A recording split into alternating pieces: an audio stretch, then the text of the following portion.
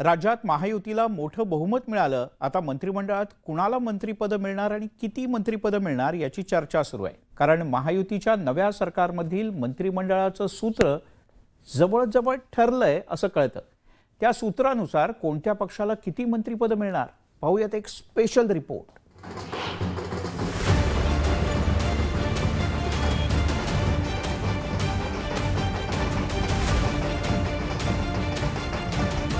विधानसभा निवडणुकीत महायुतीनं मिळवलेल्या दणदणीत विजयानंतर आता सर्वांचं लक्ष आगामी मंत्रिमंडळाकडे लागलंय. महायुतीमधील भाजप शिवसेना आणि राष्ट्रवादी काँग्रेस या तीन पक्षांचे कोणते आमदार मंत्री होणार? कोणत्या पक्षाला किती मंत्रिपदं मिळणार? ही चर्चा आता सुरू झाली. तर महायुतीनंही त्यांचं मंत्रिमंडळाचं सूत्र फायनल केलं सात आमदारांमागे एक मंत्रिपद देण्यात येणार आहे. त्यामुळे कोणत्या पक्षाला किती मंत्रिपदं मिळतील ते आता पाहूया. यामध्ये भाजपचे एकशे बत्तीस आमदार निवडून आलेले आहेत. सात आमदारांमागे एक मंत्रीपद या सूत्रानुसार भाजपच्या वाट्याला एकोणीस मंत्रीपदं येऊ शकतात. शिवसेनेचे सत्तावन्न आमदार आहेत. त्यामुळे शिवसेनेचे नऊ आमदार मंत्री होऊ शकतात. तर राष्ट्रवादी काँग्रेसचे एक्केचाळीस आमदार असल्यानं त्यांच्या वाट्याला सहा मंत्रीपदं येऊ शकतात.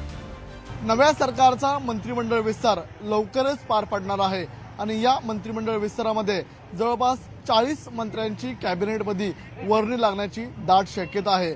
यामध्ये नवख्या आणि अनुभवी मंत्र्यांचा समावेश असण्याची खात्रीलायक माहिती न्यूज एटीन लोकमतला मिळालेली आहे.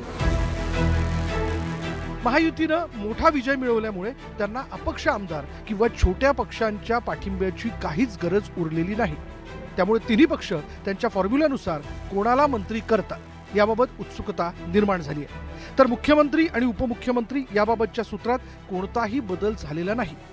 एक मुख्यमंत्री आणि दोन उपमुख्यमंत्री हे सूत्र नव्या सरकारमध्येही कायम असणार आहे. Bureau report news eighteen Lokmat.